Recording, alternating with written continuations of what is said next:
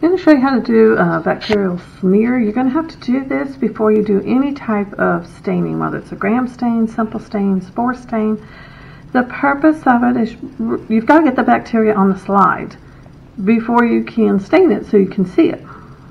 Now, what there's different ways of doing this. I'm going to show you two different ways. The first way is going from a liquid uh, broth that's E. coli. It's growing in a test tube we're going to flame our loop. Let it cool a bit. Uh, you can see this tube is cloudy. That means you've got nice growth in there of the E. coli. So you may want to mix it up just a little bit to get it more evenly distributed. Sometimes it'll settle at the bottom of the tube if it's been sitting for a while. Flame the lip of the tube. Go in with our sterile needle. You don't need very much flame the tube, you get really good at being able to close those lids with one finger. Then you're going to go to your uh, slide and just literally smear the sample on that slide. You're going to flame your loop again because you need to kill whatever was on any of the remaining E. coli. So that's the smear, but now we have to do what we call heat fixing it. To heat fix it, we're just going to pass the slide through the flame, and that's the helpful thing of putting a clothespin on the slide instead of hanging onto it with the end of your fingers. Gives you a little more distance between that flame and your fingers. I usually just kind of go one, two, three, pass it through. What that heat fixing is going to do are three things.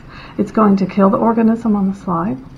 It is going to help adhere or stick the organism to the slide, and it's also going to make the cell wall of the bacteria more permeable for the stain. So the stain is going to stick better to it.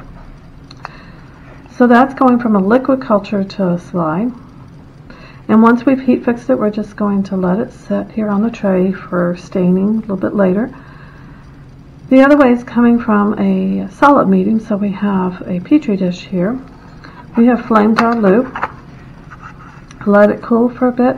This organism on the petri dish is Bacillus megaterium. And so now we're going to go, and if you want to see if your loop is cool enough, you can always kind of once again touch on the side a bit. We're just going to take a little bit of sample. This, as you can see, grows quite well. Take a sample from the plate.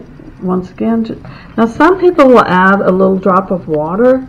I tend to just smear the sample on just like you did with the liquid culture. Flame your loop.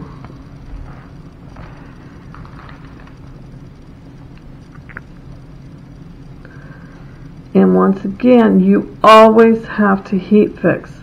If you do not heat fix, it's passing through the flame. That's what helps stick the bacteria to the slide. If you don't do that, I have had students in the past where they go to do the staining and then go look at it and there's nothing there because then they go, oops, I forgot to heat fix. Do we really need to do that? Yes, you do.